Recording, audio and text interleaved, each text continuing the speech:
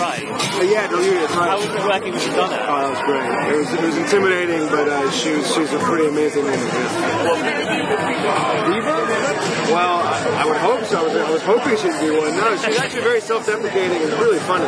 She's actually very open. What's your role in the film? I play a security guard uh, at, the Abbie and uh, Abbie's character falls in love with. Oh, okay. Not bad then. Yeah, yeah. Is there any romance?